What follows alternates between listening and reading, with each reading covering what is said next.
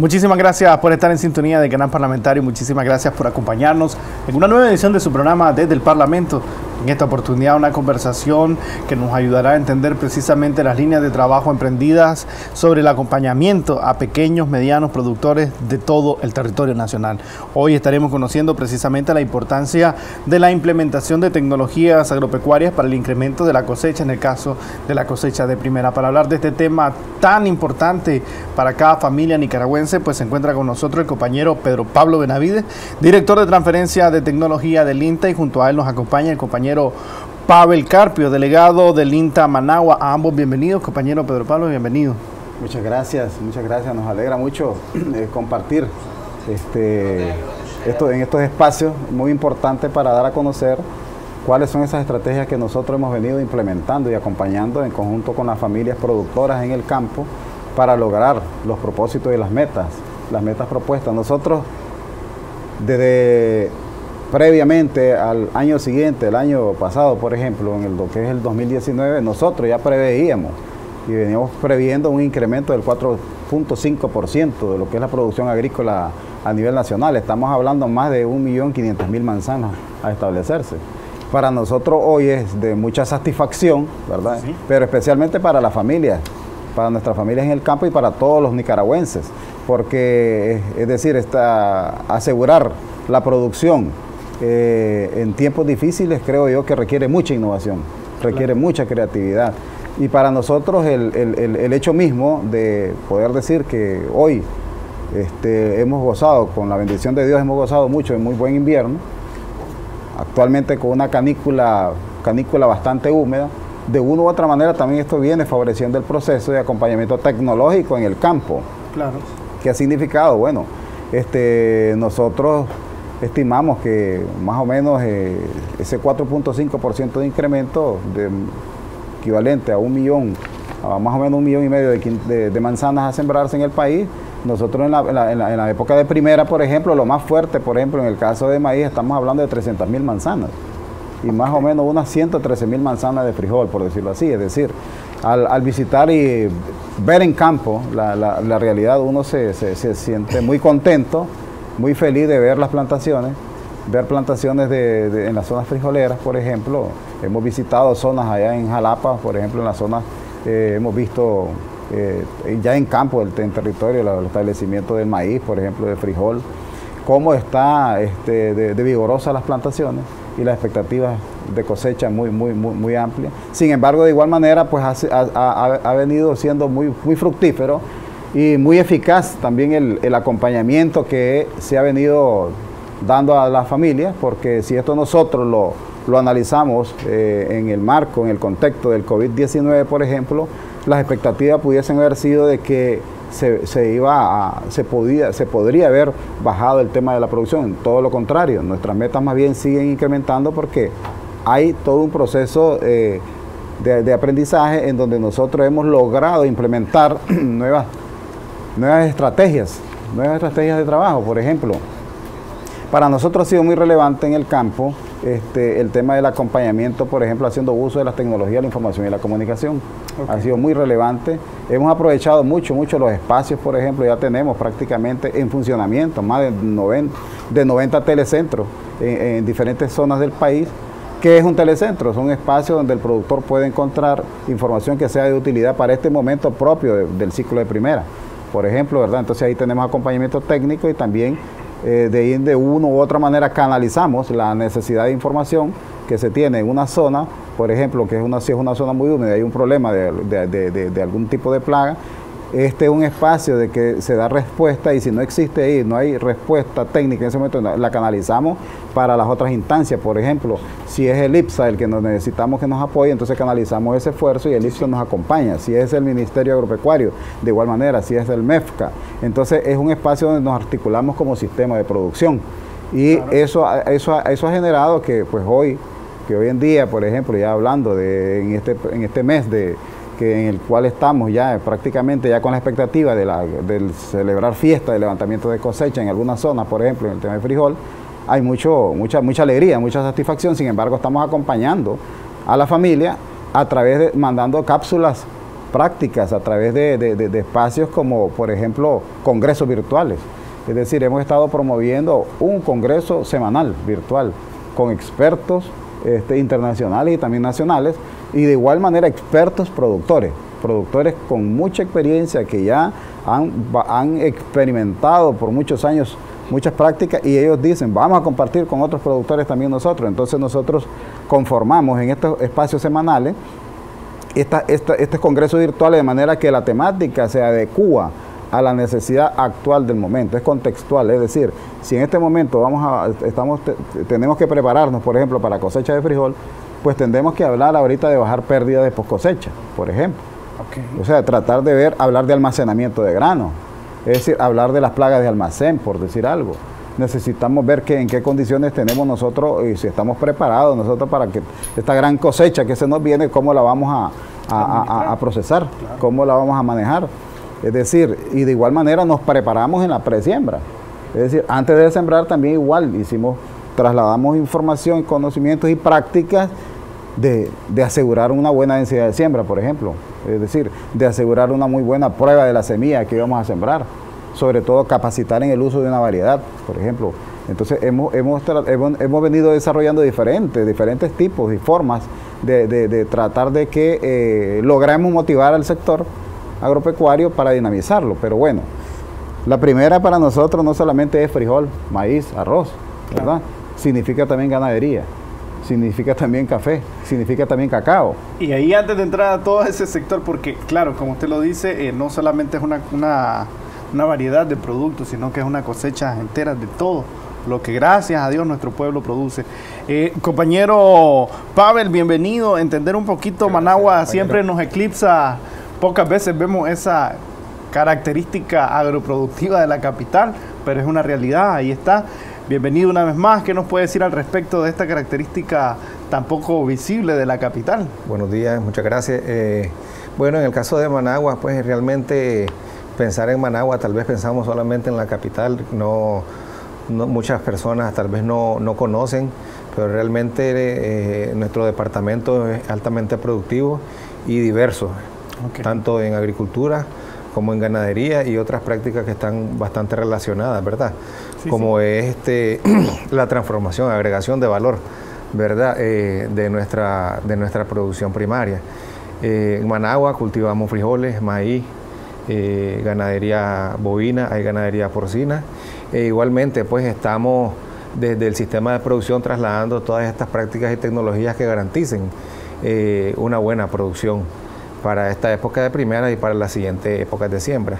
Eh, nosotros con los productores, el sistema, hemos desarrollado pues en conjunto todas estas prácticas y tecnologías que están adecuadas a lo que es la variabilidad climática, porque en, un cultivo o en una producción de pecuaria no solamente este, estamos hablando pues de, de plagas y enfermedades, estamos hablando también de una canícula, una canícula muy pronunciada o estamos hablando de este, en algunos momentos una precipitación muy alta, ¿verdad? Demasiada lluvia. Entonces nosotros trasladamos y desarrollamos en conjunto con los productores estas tecnologías pues que, garanticen una buena cosecha y que garanticen eh, la, suplir a nuestro pueblo todos estos alimentos. ¿verdad? una articulación bastante especial ¿no? en la capital a partir de realidades bastante características de cada zona. ¿Cómo entendemos cómo podríamos distribuir la capital en las zonas productivas? Es decir, ¿qué productos se caracterizan en cada región de Managua? ¿En cada una tienen un mapa de distribución de la capital? Pues eh, sí, tenemos un mapa, eh, una zonificación, ¿verdad? Por rubro y por importancia. Eh, por ejemplo, en San Francisco Libre, Villa el Carmen, Ciudad Sandino, Mateares tenemos que predomina bastante pues este, lo que es un poco ganadería mayor, menor, pero también tenemos eh, granos básicos y hortalizas. En el caso del crucero, Iticuantepe, tenemos, bueno, ustedes conocen ahí, tenemos piña, tenemos aguacates cítricos y, tenemos el caso del café. Las áreas de café un poco han disminuido, eh, sin embargo, pues se vienen incrementando otros cultivos, pues, como es el aguacate y los cítricos. Entonces, este, tal vez en algunas zonas dejamos de producir eh, café, pero vamos con otro cultivo que también es de importancia y genera pues ingresos a la familia y por consiguiente mejora pues su calidad de vida. Claro que sí, compañero. Pedro, Pablo, entender un poquito cuando hablamos de transferencia de tecnología, de repente el nombre nos transporta maquinaria, equipo tecnológico y, y, sabemos pues que también en la práctica no todo el tiempo se refiere a ese tipo de, de estructuras hay pequeñas tecnologías que las pueden adaptar rápidamente nuestras y nuestros productores y que transforman inmediatamente tanto la calidad como la cantidad de producción. ¿Cómo entendemos esa realidad? Muy válido. Me, gusta muy bien esa reflexión porque cuando uno habla de la transferencia de tecnología la podría ver demasiado abstracta, decir de que solamente es transferir, pasar algo. Claro. Y, eh, no, no necesariamente, es decir, esto es un proceso bien sistémico. Es sistémico porque en este caso el rol nuestro, por ejemplo, como sistema de producción, en algún momento lo que nosotros nos corresponde hacer es articular y facilitar procesos. ¿Por qué facilitar procesos? Porque la tecnología, la solución a veces está en la finca, es decir, está, la respuesta está en un productor innovador. Entonces lo que se requiere es más dar a conocer y estimular y promover lo que está haciendo o lo que está haciendo un productor y darlo a conocer para que otros productores traten de aprender de este proceso. Por, por, por ejemplo, nosotros hemos venido desarrollando y vamos de cara ahora en este año a la segunda edición de Agroinnovación 2020. Ahora esperamos en este proceso, es un, proceso de, por decirle así, un certamen, ¿no? que está en el marco también de todo, de todo un plan de trabajo como institución, como INTA, pero también como sistema de producción y el marco también con el plan de trabajo que venimos desarrollando conjuntamente con el CONICIT nosotros lo que estamos incentivando es que todo ese conocimiento que está ahí invisibilizado, tácito, queremos, queremos que se dé a conocer, queremos que lo conozcan, que lo conozcan otros productores. Y, por ejemplo, nosotros el año pasado, este, eh, nosotros hacíamos el análisis, decíamos, bueno, ¿cuánto tiempo le, lleva a un productor o una productora, a una familia, por ejemplo, eh, a la hora de cosechar frijoles, por ejemplo, ahorita una manzana, llegar a, para obtener ya el producto, el grano, ya, ya limpio. Hay que, entonces ese frijol hay que, hay que llevarlo un proceso, dejarlo de, lógicamente en campo secado, si hay problemas de humedad, pues hay que buscar tendales para secarlo, para tratar de asegurar de que ese grano no se, no se, no se deteriore, tratar de llevarlo a una humedad más o menos aceptable, un 14% por decirlo así, pero el secreto está en que cómo disminuimos ese tiempo máximo, es decir, si nosotros nos tardábamos tres días, por ejemplo, en, hacer el, en aporrear eh, los frijoles, es decir, ustedes no sé si lo han logrado ver o lo han visto, esa, tecnología la que hemos venido utilizando, que es con varas, ¿no? con varas se, se, da, o a veces se ponen plásticos extendidos en el campo y las familias comienzan a, a, golpear, a porrear, decimos nosotros, el grano, o, más bien la, todo lo que contiene el grano. ¿no? Entonces, significa esto de que Ahora hay un productor que innova y dice, bueno, yo quiero mermar tiempo, ahorrar costo. Y logró crear o adaptar un, equipo que es una aporreadora, es decir, una aporreadora mecánica, por decirlo así. Que, ese tiempo de tres días lo, se reduce a un día. Entonces la gran pregunta es, ahora, ¿cuánto significa eso en manejo de calidad? Es decir, el grano entonces hay mejor calidad, se conserva la calidad y logramos también sacar en un tiempo más ágil con, respecto a la zona, a lo mejor si es muy lluviosa, logramos obtener ese grano para empacarlo y guardarlo y almacenarlo. muchísimo para evitar, para evitar pérdidas por cosecha. Entonces, cuando nosotros hablamos entonces de la transferencia de tecnología, no significa que es que solamente como, eh, como Instituto Nicaragüense de Tecnología Agropecuaria genera una tecnología y la pasa y la transfiere. No.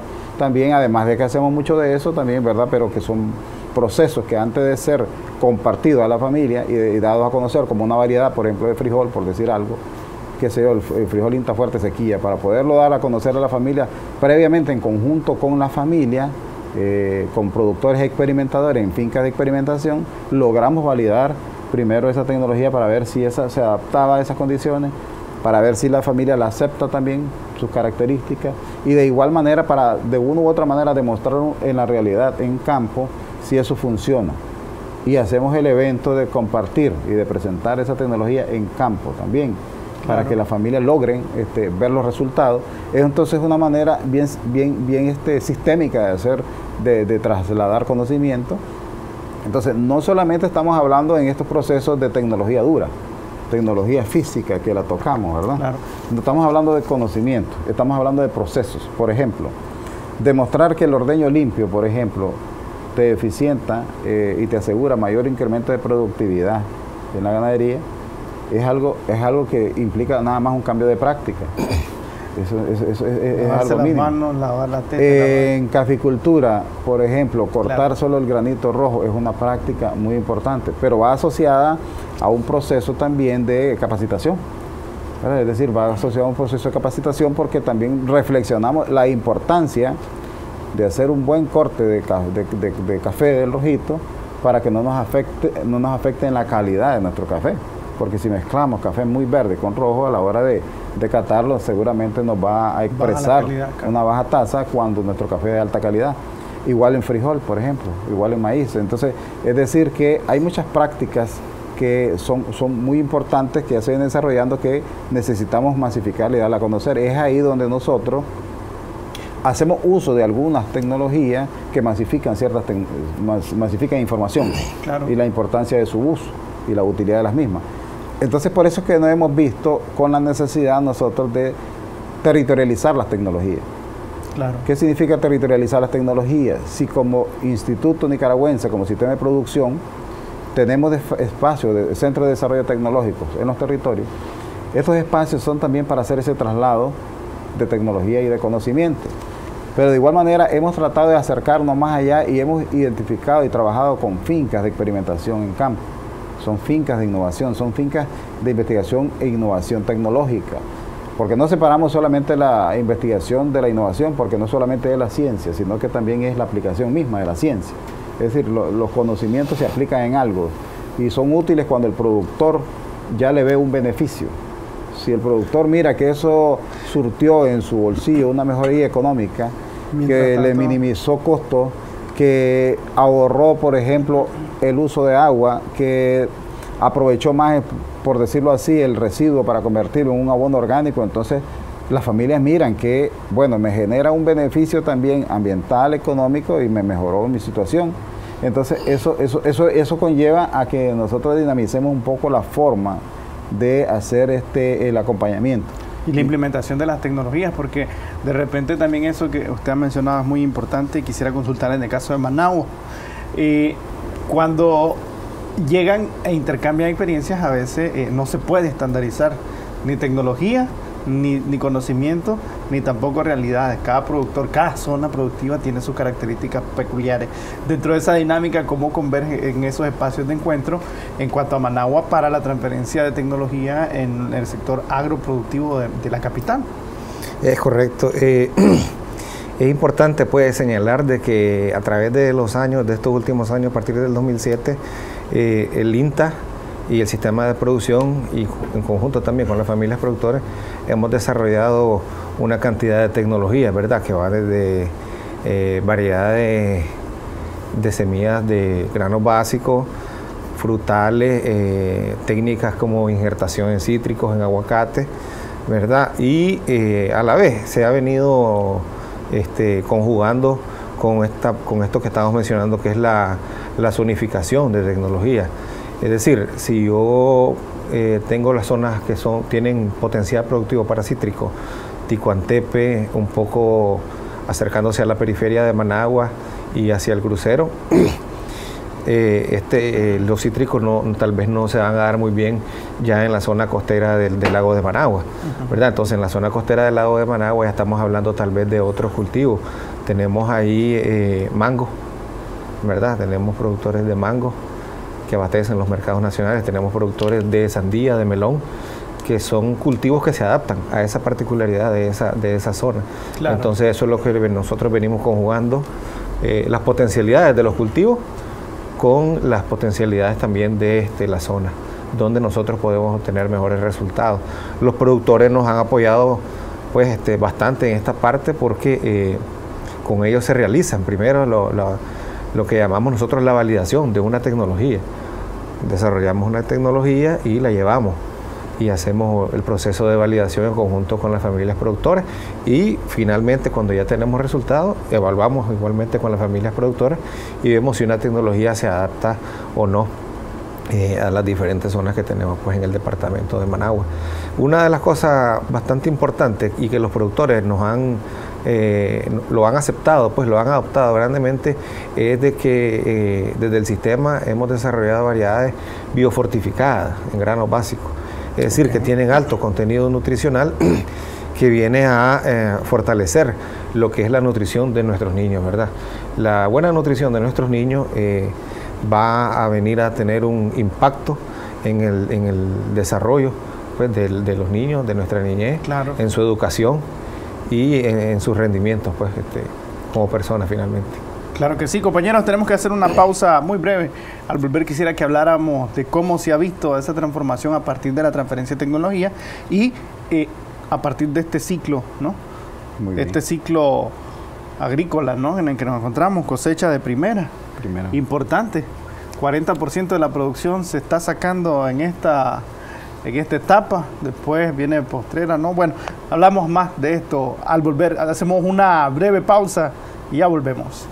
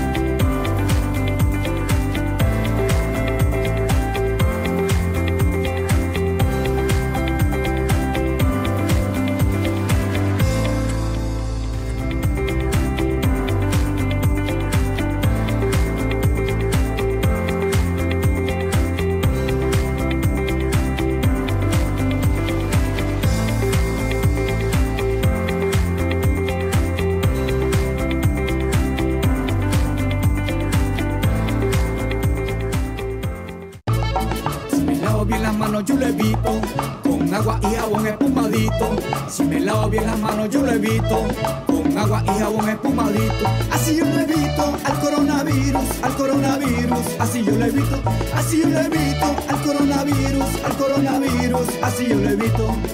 Para evitar el contagio del COVID-19, procuremos mantener al menos un metro y medio de distancia entre cada persona, sobre todo cuando una de ellas presente síntomas de resfrío. Así yo le evito así yo le evito, así yo le evito al coronavirus, al coronavirus, así yo le evito.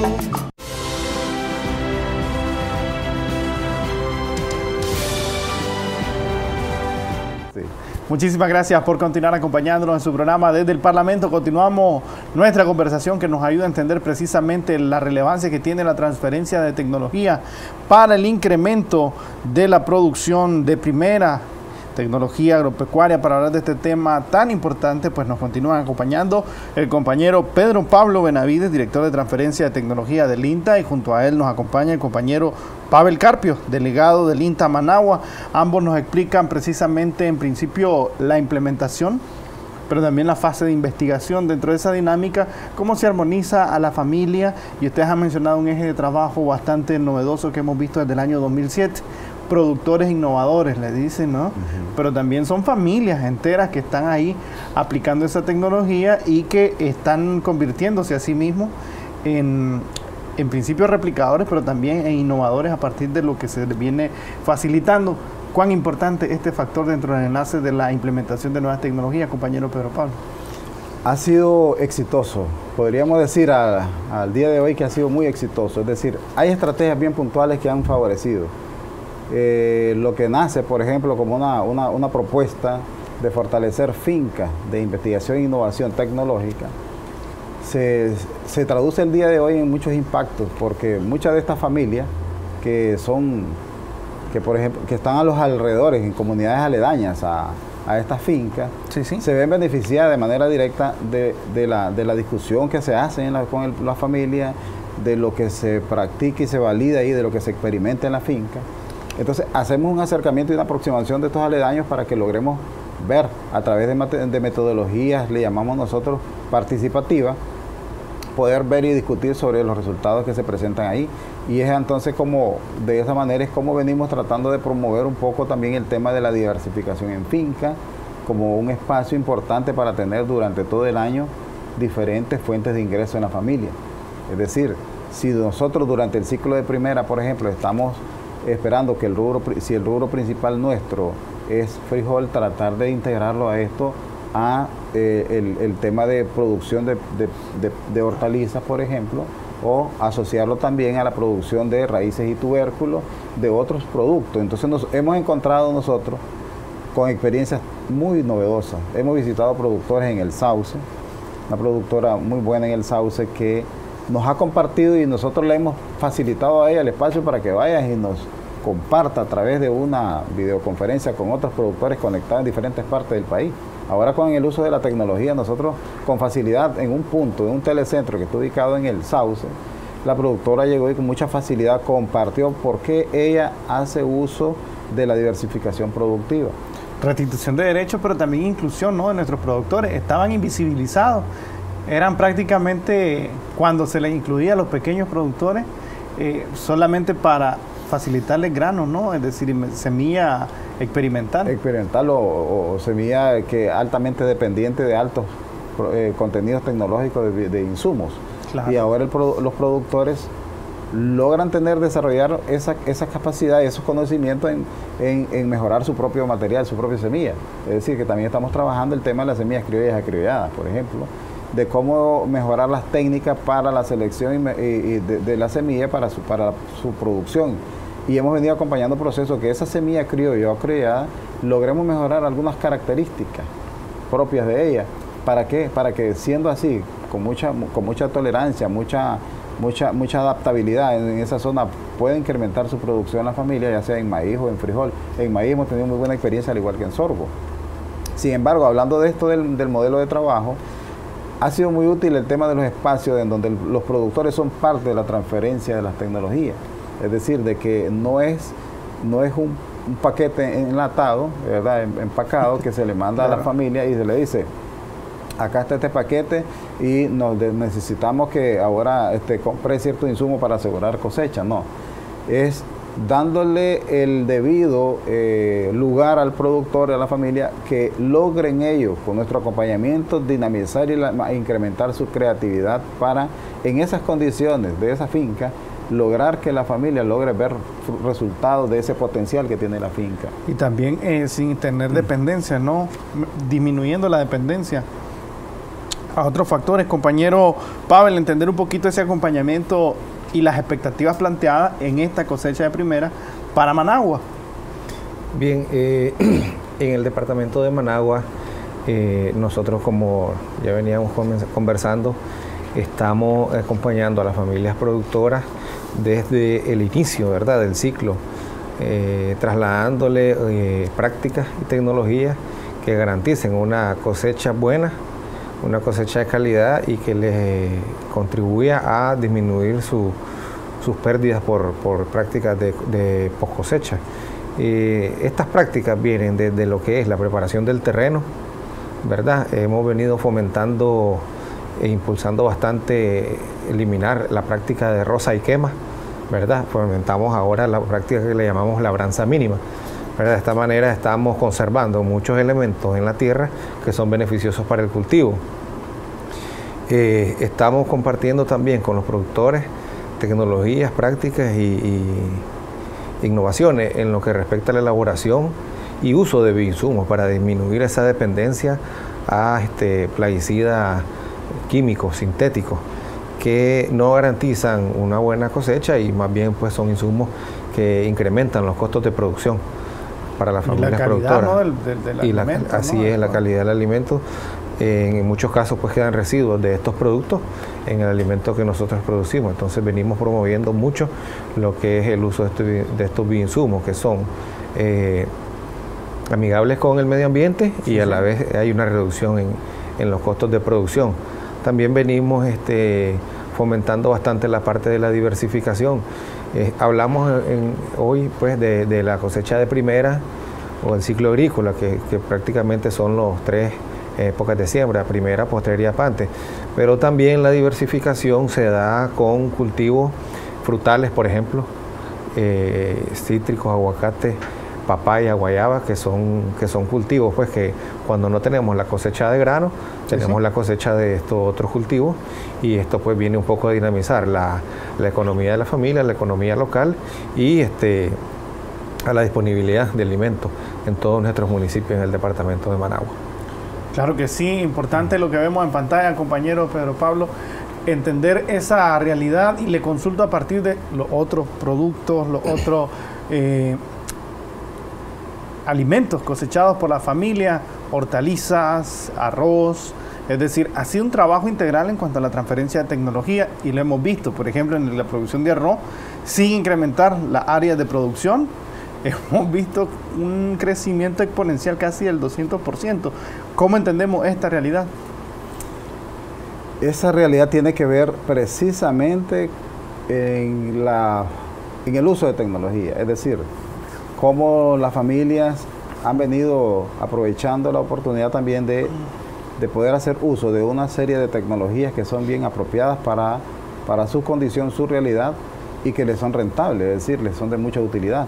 Por ejemplo, es, bien, válido hacer una reflexión rápida, pasar de, de 2 millones de quintales, por ejemplo, de granos básicos en el 2007 a 4.5, 6 millones, más o menos en la actualidad, y esperando que este año incrementemos en un 6% más esa producción en granos básicos y esperando en Dios lo vamos a lograr porque las expectativas que tenemos en campo son muy, muy, muy buenas, muy alentadoras, la familia está muy contenta.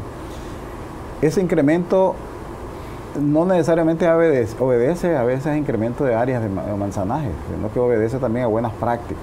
Claro. buenas prácticas en el campo. Y en, ese, en ese sentido, el tema de la semilla ha sido un tema bien, bien sentido y esto es muy sentido en cualquier, en cualquier país, en cualquier zona.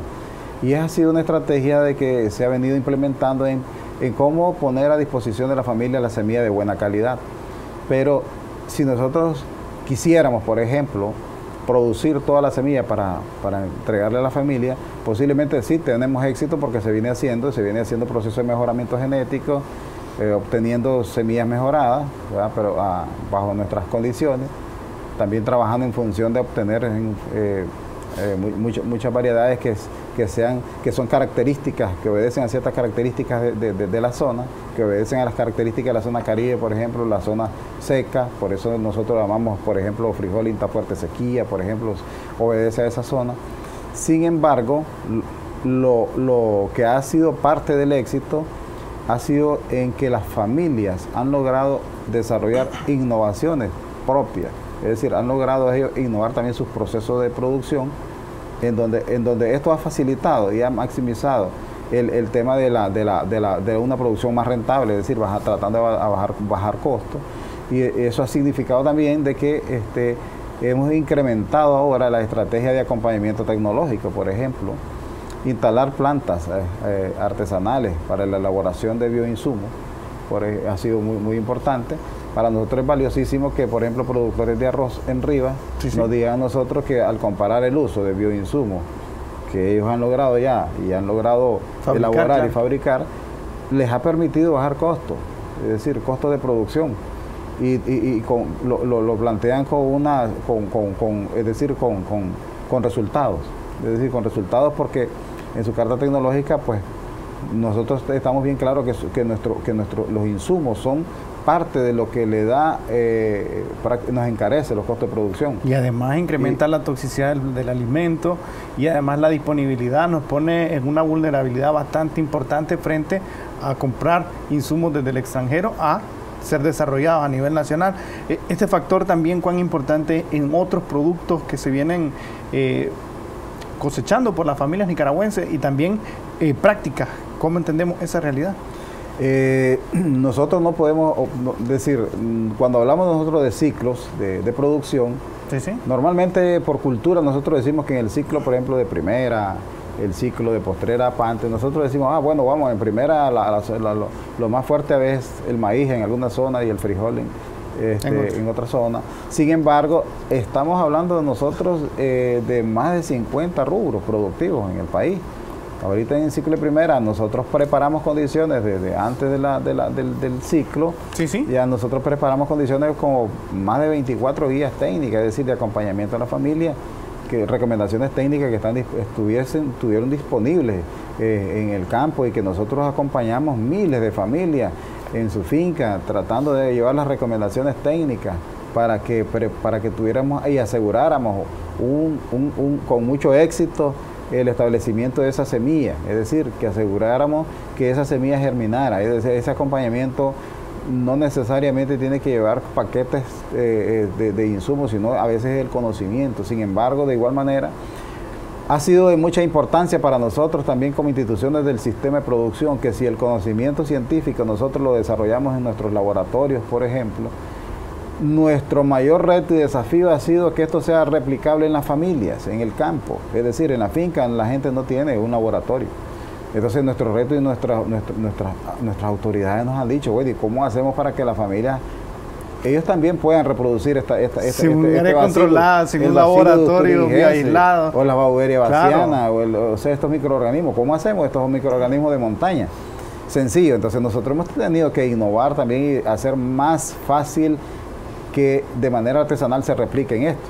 Y hoy en día nos sentimos muy orgullosos de que tengamos plantas procesadoras de bioinsumos en el campo, en finca. Nosotros nos vamos a Catincoatepe, en la zona de, frutales, tenemos un grupo de jóvenes ahí que ya es el IPSA, y MEFCA, INTA, y todo, hemos, este, con las autoridades locales, alcaldía y todo, eh, las autoridades este, acompañando el proceso y hoy en día ellos ya van de cara hacia un proceso de certificación hacia un proceso ya de que se registre su marca, su producto, para que sea vendido también este, como otros productos y estén en los estantes de, de, los agroservicios, por ejemplo. También, entonces, ¿por qué nosotros eh, tenemos que comprender que muchos de nuestros microorganismos que tenemos disponibles en nuestra realidad, en nuestro territorio, nosotros no los, no los vemos a, nuestra vista, pero sí en el laboratorio uno los identifica, ese rol nuestro como institución hacer esas investigaciones. Y hemos venido trabajando, por ejemplo, desde el laboratorio identificando cepas de, microorganismos de zonas como las zonas de Occidente, o sea, zonas que a lo mejor que, tradicionalmente fueron, han sido manejadas o mecanizadas, con históricamente fueron, fueron muy trabajadas en la época del algodón y todo esto. Hemos tratado de identificar cepas que resistan mucho a estas condiciones y tratar de derivarlas de manera biológica para luego retornarlas a la familia.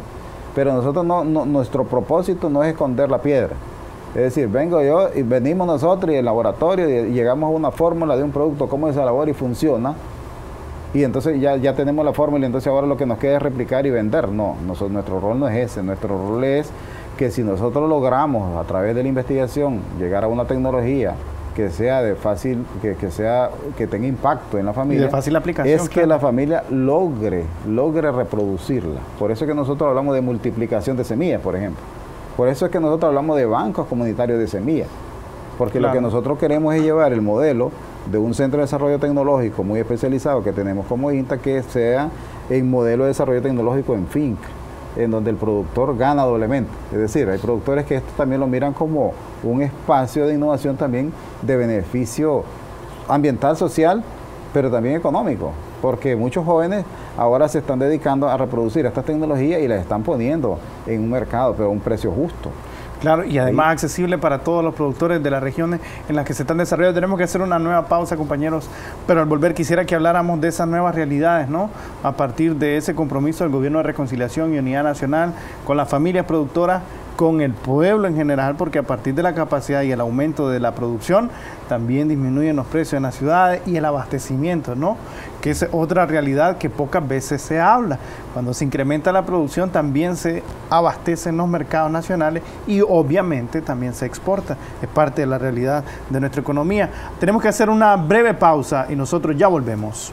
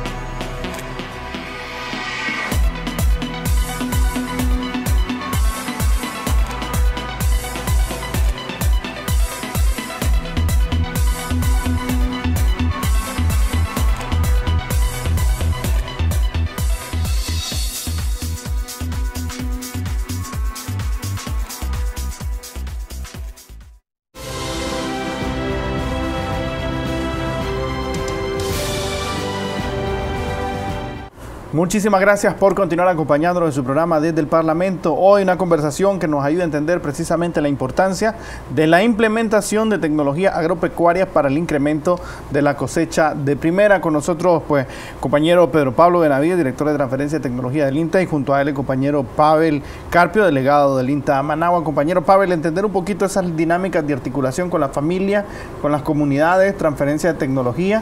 Pero además, un aspecto muy importante, no hay imposiciones aquí, es decir, es un proceso abierto de diálogo y consenso con la familia, pero también en que ellos mismos replican estas tecnologías y se convierten en protagonistas, pero también en una suerte de, instructores de sus demás eh, homólogos productores.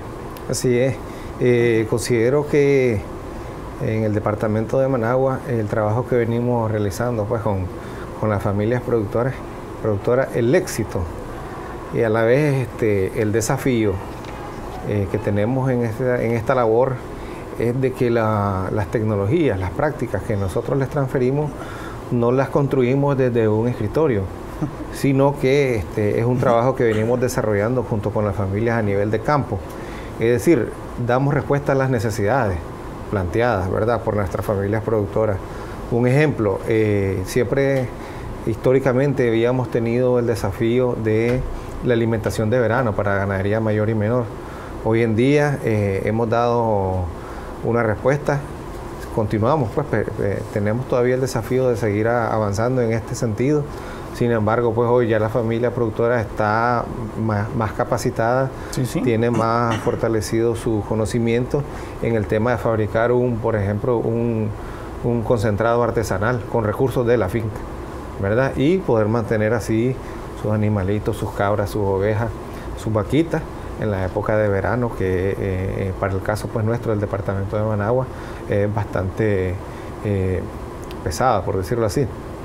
Entonces, ese, ese, es un ejemplo, digamos, del trabajo que venimos realizando, cómo venimos dando respuesta a las necesidades de nuestra familia. hemos venido avanzando bastante en la parte de hortalizas y frutales, ¿verdad? Para las familias que históricamente solamente producían granos básicos y tal vez tenían un poco de, aves ponedoras para subsistencia.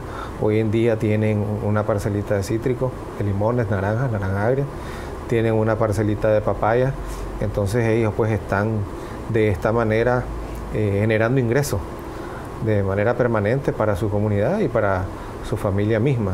Claro. Entonces todo esto ha venido pues este, a, fortalecerlos un poco a la familia y eh, eh, son necesidades eh, donde nosotros, nuestros esfuerzos están enfocados como sistema de producción en el departamento de Managua. Claro que sí, compañero Pedro Pablo, pues en pantalla vemos algunos productos eh, diversificados dentro de una finca, pero también consultarle a partir de las perspectivas, podríamos decir que se está cumpliendo la meta planteada para este ciclo de cosecha de primera. Usted que anda en el territorio, a partir de la transferencia de estas tecnologías, eh, ¿cómo vamos y cuáles son los planteamientos y objetivos alcanzados hasta este momento a partir de la cosecha de primera? Realmente nos, yo me siento contento porque nos sentimos muy contentos, felices, porque ver, ver en el campo las áreas establecidas en este momento te da mucha satisfacción. Y al mismo tiempo los productores se expresan de manera muy, muy alegre y muy contenta porque ellos saben que hay un, es, una labor humana el, ser productor, es como ser médico, es como ser un psicólogo, es como ser, porque es el principio de asegurar, en primer lugar, nuestra seguridad alimentaria y nutricional, es la disponibilidad de nuestros alimentos, pero también nosotros aseguramos los alimentos de nuestro país, pero también seguramente estamos asegurando muchos alimentos que, se van a demandar o se van a requerir en otros países vecinos. Por ejemplo, es, muy importante entonces sentir esa, esa satisfacción de saber, por ejemplo, que nosotros, este, además de que estamos pensando en continuar nuestros rubros importantes y tradicionales, que el gallo pinto para nosotros no nos puede faltar en el plato, eh, en nuestra mesa, Hablar también de, de, plátano, de banano, de guineo, es, muy satisfactorio pensar también de que, que disponer de unos 900 millones de, unidades, por ejemplo, de esta fruta es importante, o sea, para, para lograr este, disponerlo en nuestra, en nuestra dieta y también poderlo transformar y poderlo vender. La pregunta, bueno, si nuestras metas, nuestras metas han sido construidas, este, no han sido, no han sido construidas de manera matemática, han sido construidos en base a avances. Es decir, nosotros decir que de 2 millones en el 2007 pasamos a actualmente más de 4.5 millones de granos básicos, hay análisis que lleva nuestro Ministerio Agropecuario, por ejemplo, estadísticos, en donde hay un monitoreo constante a la finca, ¿verdad? Y se estima cosecha. Y es por eso que se, se, planteó el año pasado que el 4.5% del incremento de nuestra producción agrícola en, Nicaragua es todavía es, lo, es lo mínimo, porque nosotros vamos a ir más allá todavía de ese incremento. Seguramente cuando hagamos el cierre de la producción nos vamos a dar cuenta de todo lo que esto ha significado y el incremento. Nosotros hoy podemos, podemos, podemos ver, de, es decir, la, gran, la gran este, el, gran avance en las áreas productivas, en donde familias nos expresan, por ejemplo, que áreas que, no habían sembrado se decidieron sembrarla, inclusive porque las condiciones de igual manera del clima eh, fueron, lo permitieron, fueron lo permitieron y, nos, y facilitaron. Entonces, ellos dicen tomar el riesgo también, porque la agricultura es también, tiene, tiene, su, tiene su, su grado de, de nivel de, de, arriesgarte como emprendedor, como emprendedor, arriesgarte y tomar la decisión de sembrar. Sin embargo, nosotros este, lo que hacemos es, bueno, hay que arriesgarse a sembrar, pero hay que también ser preventivo. Entonces, si lanzamos una semilla de frijol, nosotros decimos, acompañemos esta semilla, la acompañamos con algunos elementos de, de, de, de acondicionamiento, de la semilla, preparándonos, por ejemplo, para que aseguremos una buena, una buena tasa de germinación de la semilla y además el acompañamiento este, técnico.